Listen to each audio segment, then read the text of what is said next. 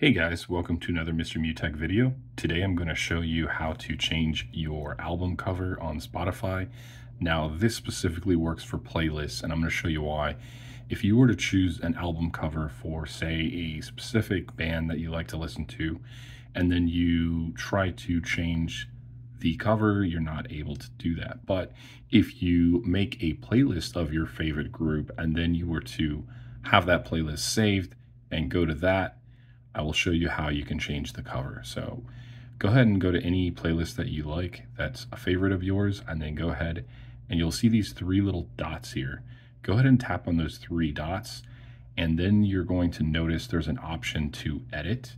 Go ahead and tap on edit. And then once you go to edit, you'll see here an option to change image. And once you tap on change image, you're gonna see that it allows you to choose something from a library or to take a photo. So let's just say we're gonna take a photo here, take this photo, and then use photo. And now you'll notice that the playlist has the photo that I had taken the image of. Hopefully that was helpful for you guys. If so, feel free to like. And if you wanna subscribe, that would be awesome too. Have a great day. Take care.